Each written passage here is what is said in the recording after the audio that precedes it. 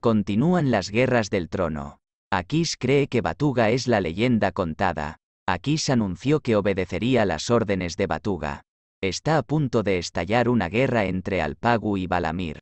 Balamir les dijo a todos los caballeros que habían ahorcado a la persona equivocada. La autoridad de Alpagu Khan está a punto de tambalearse. Akis, por otro lado, asusta a todos con sus habilidades superiores.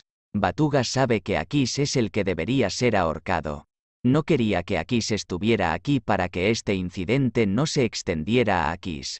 Batuga le dijo a Akis, debes irte de aquí o te matarán. Akis, por otro lado, no se opuso a esta orden de Batuga, que dijo que obedecería todas sus órdenes. Akis y Batuga entraron a regañadientes en una encrucijada, no olvides suscribirte y dar me gusta al vídeo para ver más videos como este. Gracias por ver.